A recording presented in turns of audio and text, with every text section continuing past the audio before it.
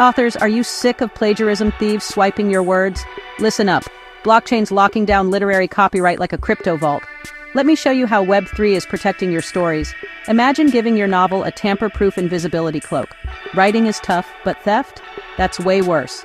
Over a billion dollars lost to plagiarism in 2024 alone, according to WIPO. Reuters says AI tools copied 20 million books without credit. Proving you own your work? That's a $50,000 average court battle, says Forbes. But blockchain's time-stamped fix is here. No more hunting your bestseller across dodgy ebook sites. Here's the magic blockchain timestamps your manuscript forever. Book.io registered half a million books last year, Coindesk reports. Smart contracts track sales and royalties automatically. Poet verifies your first publication instantly. It's like a digital notary that never sleeps or takes bribes. Why do writers love this? Proof. Immutable blockchain records win 90% of disputes, per Cointelegraph. Royalties? Smart contracts pay you instantly, with 15% more earnings, according to Chainalysis. Global reach? A million indie authors sold books worldwide via blockchain, DappRadar says.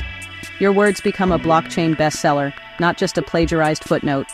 But it's not all plot twists and happy endings. Tech can be tricky. 30% of authors struggled with crypto wallets, says Publishers Weekly. Fees can hit $10 per book. Adoption slow, with only 10% of publishers on board, Reuters reports. Don't let your copyright get lost in the blockchain plot. But the future? Totally epic. By 2030, Deloitte predicts 30% of books could be blockchain protected.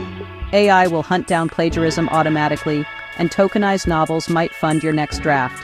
Your memoir? A tradable Web3 classic. This isn't just copyright, it's a literary revolution. Pause, pause.